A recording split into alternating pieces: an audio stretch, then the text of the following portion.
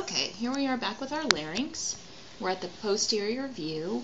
We can see, see if this arytenoid will stay on here, but um, hold on one second. So we've got the hyoid bone, the thyroid cartilage in white, we've got the orange vocal folds, the blue cricoid cartilage, and the vocal folds extending from the back of the thyroid cartilage at the notch to the superior border of the posterior cricoid. And actually, they, they go to the arytenoids, but just for the sake of making this model, I had to have a way to get them to stay there. So they're actually attached here onto these arytenoid cartilages in yellow.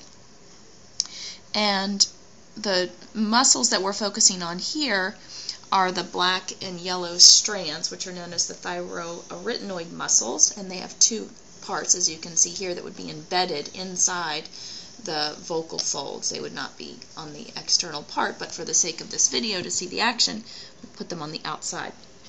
So the thyroarytenoid muscle is comprised of two main muscles, the thyromuscularis, also known as the thyroarytenoid externus, which was here in yellow, and the vocalis muscle, which is also known as the thyroarytenoid internus, which are black here.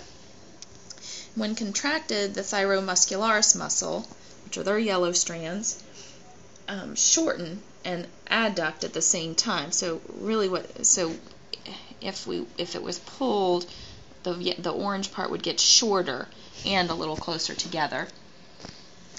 And the vocalis, when it when it's um,